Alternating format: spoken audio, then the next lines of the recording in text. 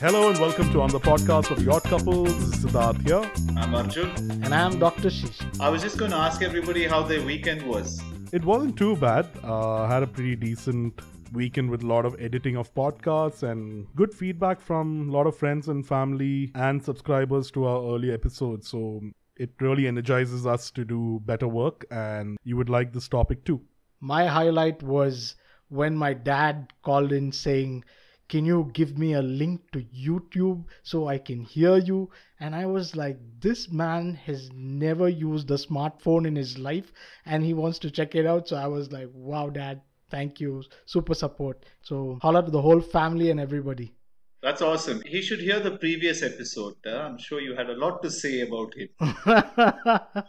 I'm sure he did. Okay, so what are we going to talk about, Sid? So, Arjun and Dr. Sheesh, do you consider yourself to be handsome, or pretty handsome? What's the take? What's pretty handsome? Let me rephrase that question.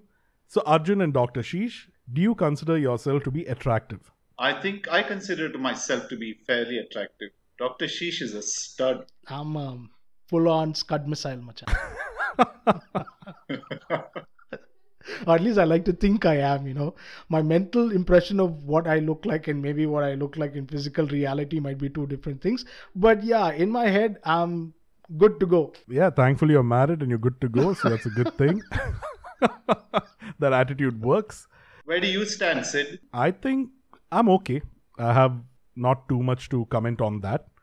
But I did read an article somewhere where they were saying that when we look at the mirror, we tend to think that we are at least 20 30% more handsome or pretty than we actually are.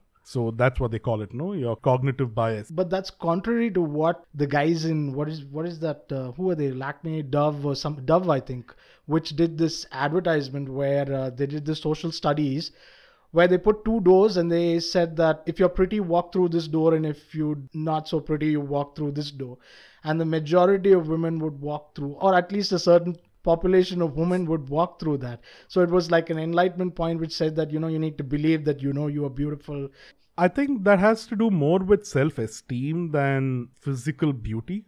A lot of people are extremely, that's the word I use, attractive, and not physical beauty because physical beauty is just, oh, great skin, sharp nose, perfect jawline, a great body, XYZ. But when I'm saying attractive, I'll tell you things that attract me of the opposite sex is the smile, the way they talk, the sense of humor. And obviously the looks also count but it isn't 100% only looks. There are a lot of people who i know who are extremely attractive. If you look at only gauge them from the looks basis i would say they're probably a 6 on 10 but because of their personality they just shoot up to 110 so that's attractive. But are we talking about is beauty an evolutionary advantage for somebody? Do they get an advantage if they're beautiful? So basically do attractive people get more opportunity in life? Exactly.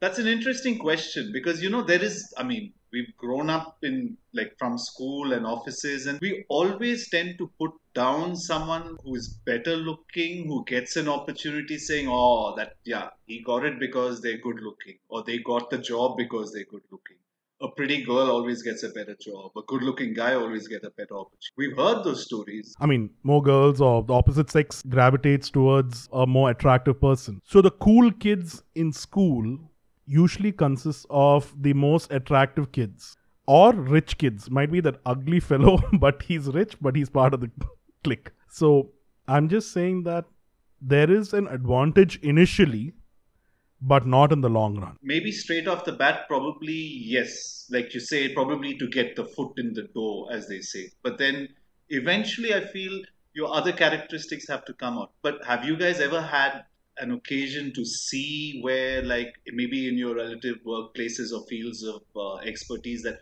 oh someone may have gotten by just purely on physical attractiveness without having the necessary qualification. Let's take marriage especially in an indian system where we have arranged marriage system. It's always generally based on first the looks. Is the girl good looking? Is the girl fair?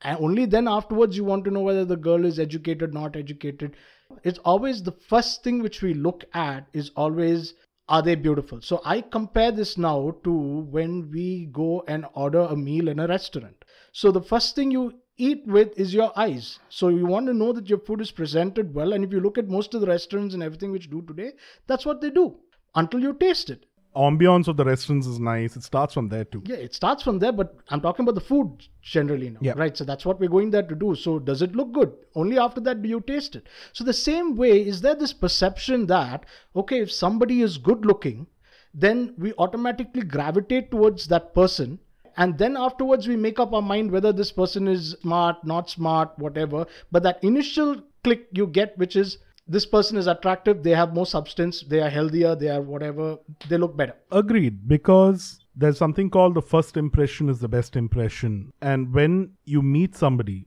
who is attractive, uh, who's handsome or beautiful or something like that, it automatically becomes a better impression, sadly. Because your brain generalizes and simplifies your whole cognitive process because this is the thing that you're looking for.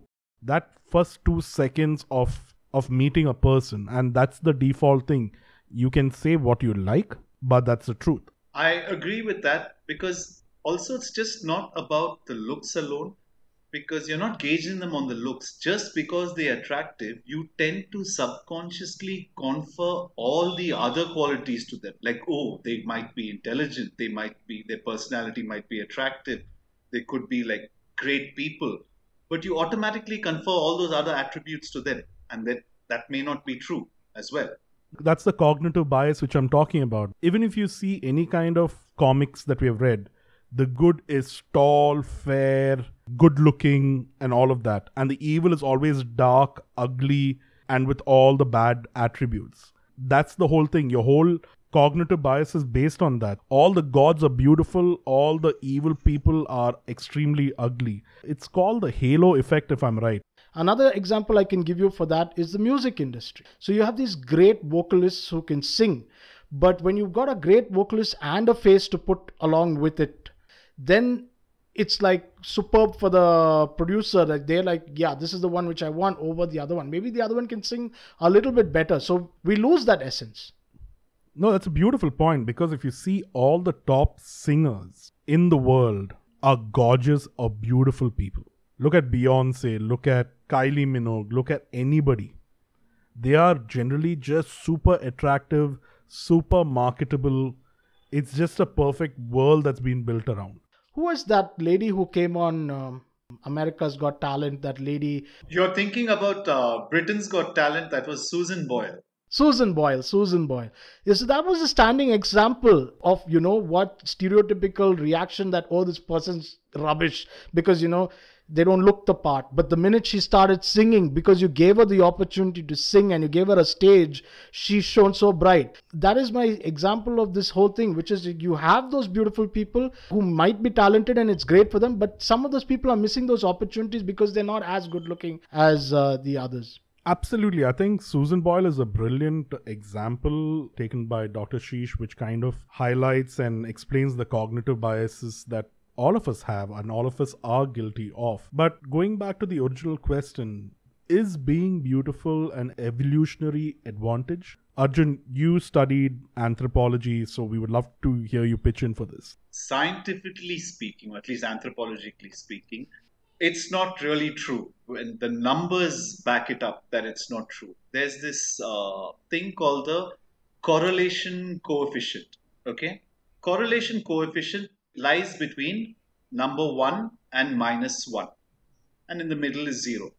So along that entire chart, number one is most likely will be attracted to the most likely, and minus one is the most likely will attracted to the most unlikely. Let me put this in perspective. Number one is the tallest person will be attracted to the tallest person. Minus one is the tallest person will be attracted to the shortest person. Zero is the tallest person could be attracted to either the shortest or the tallest. Substitute tallest for any value, physical or mental.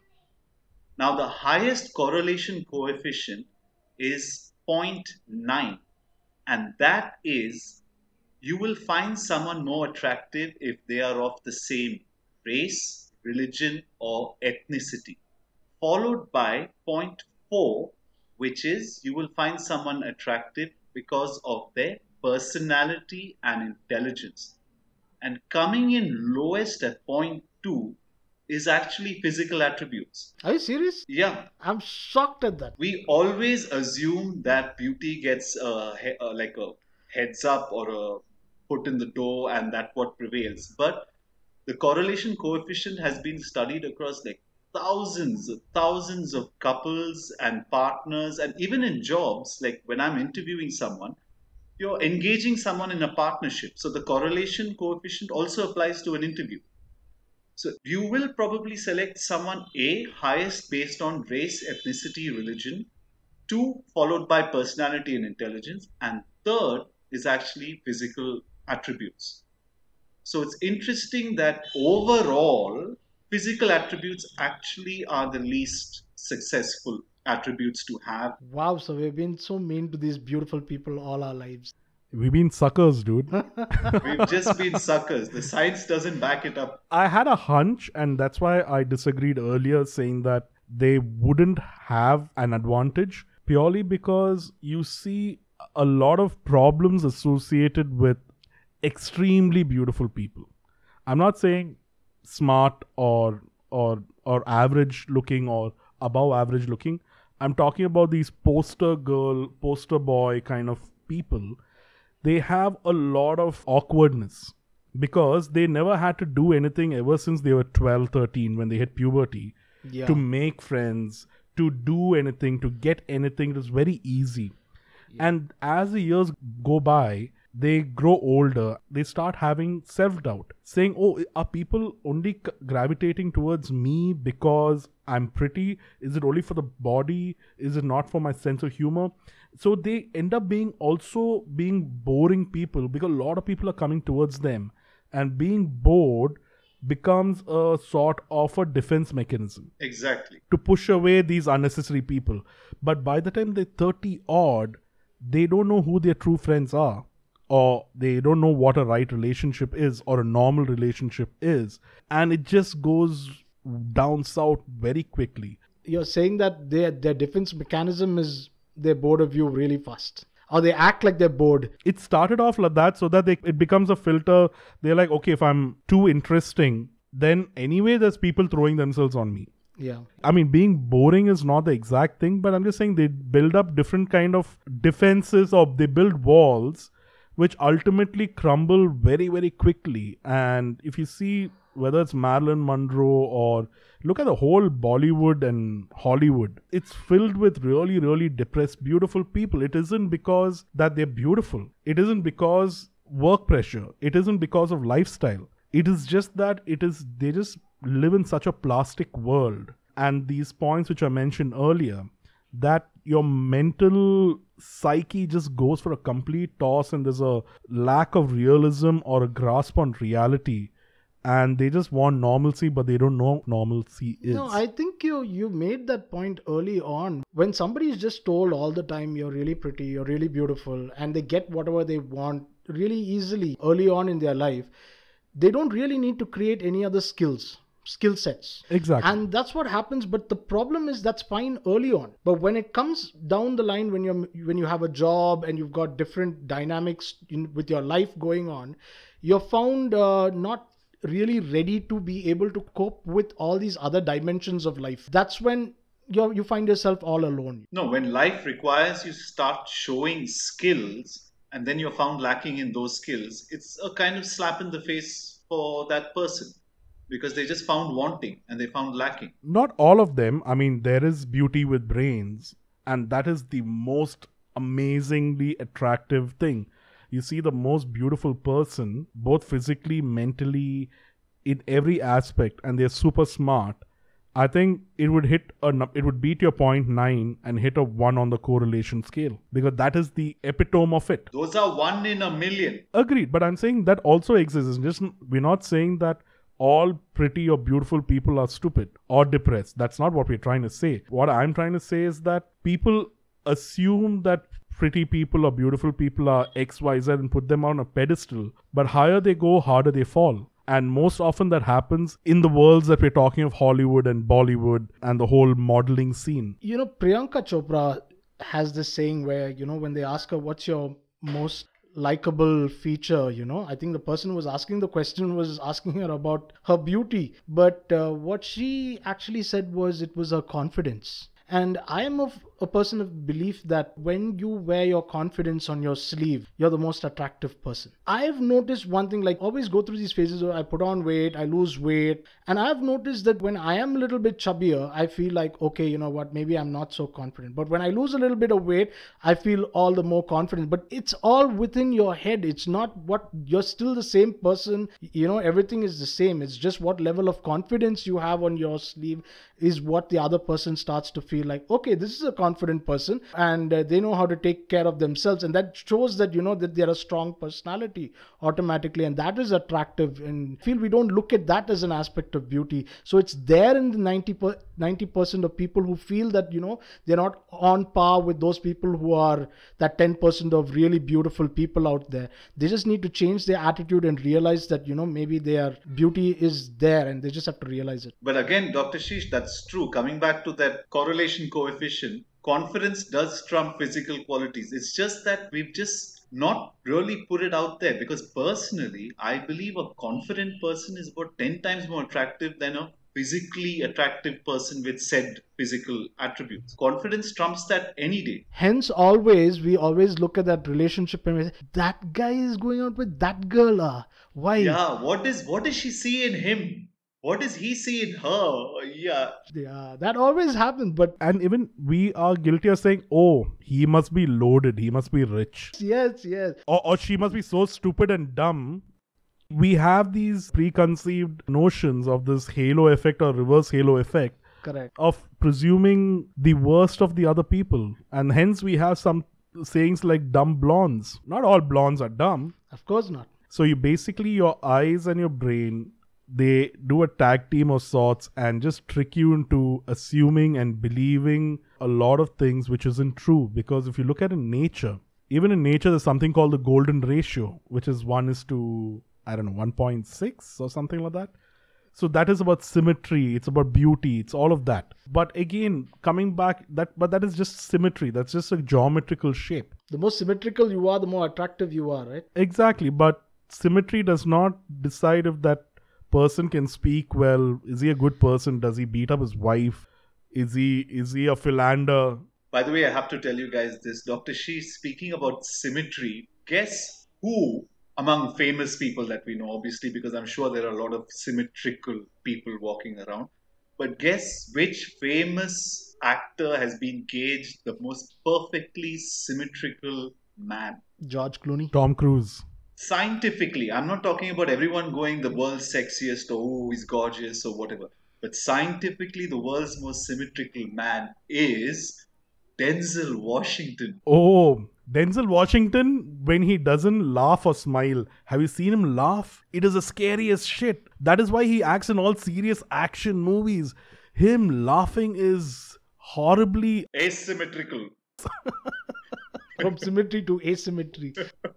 From good looking to ugly fellow. But I found that damn surprising. Denzel Washington is scientifically acknowledged to be that shape and that feature, and him physically is acknowledged to be the most symmetrical man. Yeah, look at uh, somebody like Morgan Freeman or James Earl Jones. They're not the most prettiest people, but oh my god, what a voice they have. The deep baritone. I mean, that itself is sexy, right? For a lot of people. Yeah. You know, I find another thing which. Um, which I kind of I feel I don't know whether this is uh, real or not real, but I feel like as you become familiar with somebody's face, it tends to get a little bit more attractive to you. Oh, that's a good point. Classic case of these actors who come in and they start acting for the first time.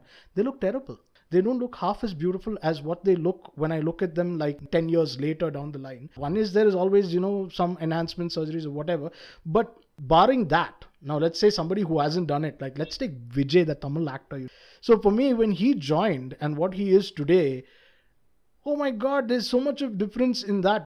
So I feel like when somebody's face, you just keep seeing it over and over and over again. You know, it doesn't, even if they initially you feel, oh, he's not really an attractive person, but then slowly over time, the other dynamics kick in and then they start looking, you know, uh, more appealing to you. So do you think that has anything? Like, do you think familiarity can lead to that? I guess so. Uh, because it's not familiarity, it's time. Because you don't know Vijay personally, do you? No, I don't. Of course not. Exactly. So it is about time. You have seen his work, you've seen certain things that you liked, the way he's reacted to certain political situations, or probably the kind of charity he does. I'm not too sure what exactly those attributes are. But there's something that over time that has attracted or you found him a little more appealing versus what it was earlier. But Tiger Shroff's first movie and what he is now is is like is really Yeah, but I I don't know. Personally, I really don't find Tiger Shroff attractive. he could be in the no. It's not for about you years. finding him attractive or anything. I'm just saying that you know wh- how he looks on screen. He looks a lot more better on screen. Is it all the from the back end editing? Or is it that you know, since that face has become so familiar on the screen, it's like okay, he's improved. Uh, No, I, I think Dr. Sheesh just has a man crush on Tiger Shroff. That's pretty much it. Yeah, because if you noticed, if you noticed, he started with Vijay, but he really wanted to get Tiger Shroff into the conversation. my God, we're being too harsh and judgmental And hopefully he'll find you attractive over time, Ashish. over time. But I get what Dr. Sheesh is saying about the overtime bit. Overtime, yes, people do seem to be more attractive. People you like to and you gravitate to do seem to be more attractive. And I'm not talking about even romantically. We're talking about friends or people you work with. People you start to like do tend to start looking more and more attractive. You don't see them the way let's say if you walk into a room and someone looks at them for the first time and they tell you like oh this person's a bit so and so he's a bit pudgy or his nose is out of whack and you never noticed anything like that before because your the like you have for this person has completely overshadowed any physical attribute that you may have found lacking for want of a better word Very true. Uh, the reverse is also true, which is beautiful people who get into it only for physical beauty. Beauty fades over time. You age, everybody becomes old, and then what do you do? there's an interesting point that I left out about the correlation coefficient. Okay, we've already dis- we've already discussed that 0.9 is towards religion, ethnicity, race. 0.6 is towards personality, intelligence, and physical attributes is low at 0.2. But here's the kicker: the 0.2 of physical attributes is obviously physical attributes not obvious physical attributes count for 0.6, which is actually way higher than your 0.4 of personality and intelligence. Now, coming back to what we discussed about what does this person see in that person, what is that person, or you just finding someone you like, but it's like, no, there's just something about that person. Here's the kicker 0.6 of physical attributes you can't literally put your finger on are size and shape of earlobe, distance between the eyes, slope of the forehead, length of the middle finger, length of a toe, things like that, shape of your nostrils. Are you serious? Sounds like crap. I am dead serious. 0.61% of the correlation coefficient are physical attributes like those that you cannot, your mind for some reason doesn't, you cannot put your finger on it. It's like, That would explain a lot of foot fetish. it could explain a lot of fetishes, in fact. because there's so many things. Uh, I'm not saying that anyone, even scientifically, it's not like anyone says, yeah, these are the reasons for this. You know, we like bigger earlobes because people could hear a saber-toothed cat from miles away. No, it's got nothing to do with that.